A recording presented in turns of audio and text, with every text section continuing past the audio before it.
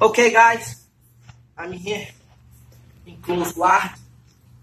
Okay, so what is that normal position that I like to do?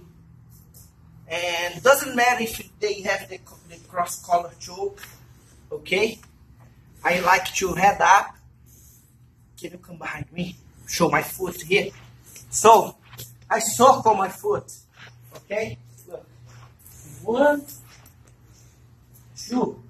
I bring it down, and then I put my hand on his knee, and I open. Again.